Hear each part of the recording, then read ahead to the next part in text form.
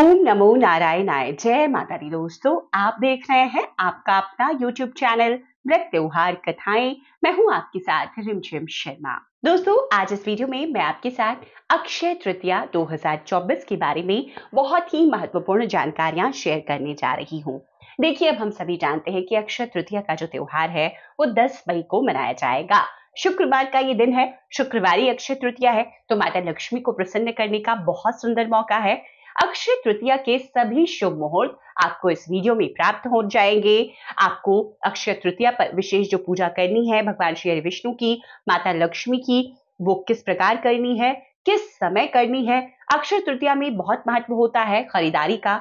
तो खरीदारी आपको चाहे सोने चांदी की खरीदारी कर रहे हो या सोने चांदी जैसी ही अन्य ऐसी वस्तुएँ जो खरीद कर हम माता लक्ष्मी भगवान श्री हरि को प्रसन्न कर सकते हैं, उन चीज़ों की खरीदारी।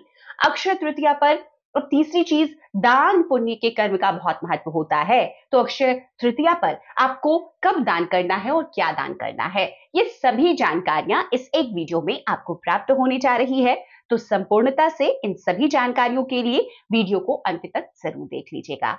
दोस्तों चैनल पर पहली बार आए हैं, इस तरह की जानकारियाँ आपको भी अच्छी लगती है तो चैनल को कृपया कर सब्सक्राइब भी ज़रूर कर लें। नोटिफिकेशन के लिए बेल बटन प्रेस कर दें, ताकि जब भी मैं इस तरह की महत्वपूर्ण जानकारियाँ आपके साथ शेयर करूँ, वो आपसे मिस ना हो। देखिए, सनातन धर्म में अक्षय तृतीया एक बहुत ही खास त्योहार है। अक्षय तृतीया को हम आखा तीज के नाम से जानते हैं। अक्षय तृतीया दोस्तों वैशाख मास के शुक्ल पक्ष की तृतीया तिथि को हर वर्ष मनाई जाती है।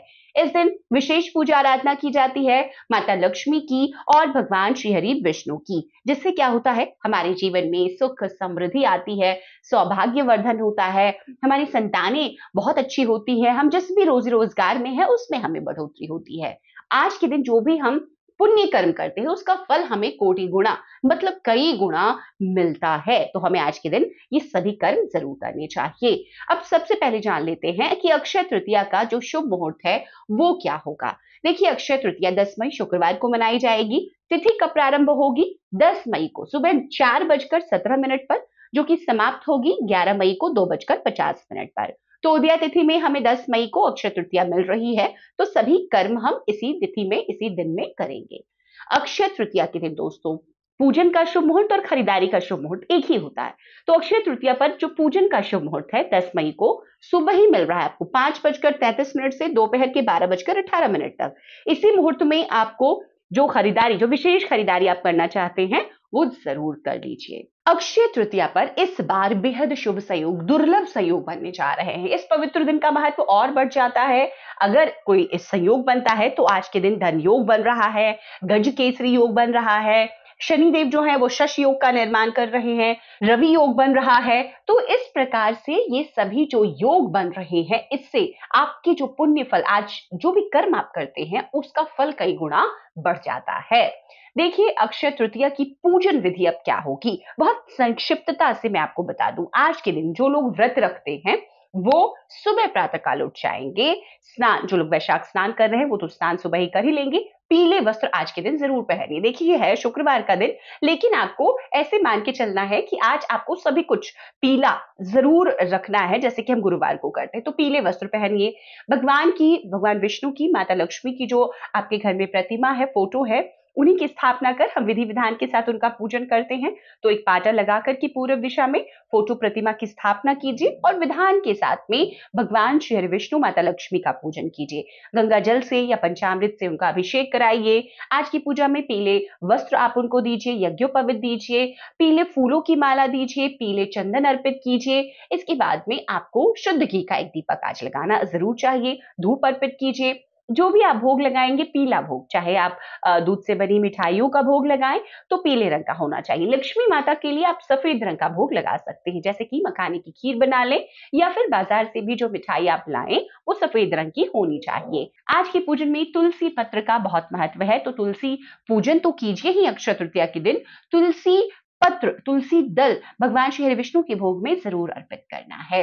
तो इस प्रकार से विधि विधान के साथ में पूजन करना है। अब इसके अलावा आज के दिन कुछ भी, जो भी जाप करते हैं ना, उसका फल आपको कई गुणा मिलता है। तो आज आप विष्णु सहस्त्र नाम का जाप कर लीजिए, विष्णु चालीसा पढ़ लीजिए, भगवान श्री विष्णु के कोई भी मंत्र, ओम नमो भगवती वासुदेवाय, ओम नमो नारायणाय, माता लक्ष्मी का कोई मंत्र, लघु मंत्र ले लें या उनका जो संपूर्ण मंत्र है, वो मंत्र लेकर के आप उसका जाप कर ले, एक माला, माता लक्ष्मी के देखिए मंत्रों का जप करें तो कमल गट्टे की माला से, भगवान श्री विष्णु का मंत्रों का आप जप करना चाहें तो तुलसी की माला से। ये थोड़ा ध्यान रखने वाली बात है तो आप इस प्रकार से माला रखें।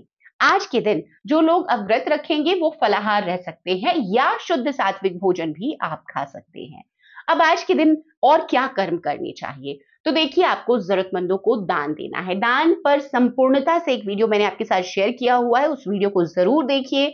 ज़रूरी नहीं है कि सोने जैसी बहुमूल्य हम पीली वस्तु का दान करें। बहुत सारी ऐसी चीज़ें हैं जिसको हम अगर दान करते हैं तो सोने से भी ज़्यादा पुण्यफल के दान से भी हमें ज़्यादा पुण्यफल प्राप्त होता है। तो आप उन चीज़ों का दान ज़रूर कीजिए। अक्षय तृतीया पर और आपको क्या करना चाहिए? आज के दिन देखिए जो लोग व्रत नहीं भी कर रहे हैं, भगवान श्री विष्णु और माता लक्ष्मी का आपको दर्शन किसी भी मंदिर जाकर ज़रूर करना है। पीले पुष्प भी अर्पित कर दें, भोग ही आप अर्पित कर दें, इतना कर लें, इसके बाद दान पुण्य के कर्म कर लें। बहुत ज़्यादा नहीं दान करेंगे तो आप जल का ही दान कर ले। मतलब कि आप चाहे देखिए तो एक जल कलश का दान करें। अगर आपसे नहीं हो पा रहा है तो बाज़ार में जो पैक्ड पानी मिलता है ना, या शरबत है कोई, जूसेस है, आप इसका भी दान कीजिए। देखिए, बहुत लोग समय के अभाव में नहीं कर पाएँगे तो ऐसा नहीं है कि आप शरबत बना करके ही दान करेंगे तो उसका पुण्य फल होगा। आप बने बनाए जो बाज़ार में मिल रहे हैं पेय चाहे वो पानी हो या शरबत हो, लस्सी हो, दही हो, इन सब चीज़ों का दान अगर आज राहगीरों को, जरूरतमंदों को करते हैं, बहुत ही पुण्य फल आपको मिलता है। आप अन्य का दान करें, बहुत सारी ऐसी चीज़ें दान पर बताई है मैंने, आप उस वीडियो को ज़रूर देखिए और इन चीज़ों का दान कीजिए। आपके दरवाजे पर कोई व्यक्ति आ जाए, उसे खाली हाथ बिल्कुल ना लौटाएँ, उन्हें दान, दक्षिणा, भोजन करा के संतुष्ट करके ही भेजें। आज अपना व्यवहार मधुर रखें, किसी के साथ दुर्व्यवहार कभी भी शुभ मौकों पर। देखिए, वैसे तो कभी नहीं करना चाहिए, लेकिन आज तो बिल्कुल ना करें। तो इस प्रकार से अक्षय तृतीया की संपूर्णता से सभी जानकारियाँ इस एक वीडियो में मैंने आपके साथ शेयर की है। उम्मीद करती हूँ ये जानकारी आपको पसंद आएगी। अक्षय तृतीया की कथा भी आपको प्राप्त हो जाएगी आपके अपने यूट्यूब चैनल व्रत त्योहार कथाएँ पर। तो कथा का श्रवण भी ज़रूर कीजिएगा। बहुत पुण्य फलकारी उसका भी फल होता है। तो वीडियो अंत तक आपने देखा। ये समस्त जानकारी अब आपके पास है। इसी प्रकार से इस अक्षय तृतीया को ज़रूर मनाएँ। वीडियो पसंद आए तो लाइक कर दीजिएगा। आगे अपने दोस्तों, परिजनों तक शेयर ज़रूर कीजिए। चैनल पर पहली बार आए हैं, इस तरह की जानकारी आपको भी अच्छी लगती है तो चैनल को सब्सक्राइब ज़रूर कर लें। नोटिफिकेशन के लिए बेल बटन प्रेस कर दें, ताकि जब भी मैं कोई वीडियो इसी प्रकार का शेयर करूँ, वो सबसे पहले आपको प्राप्त हो सके।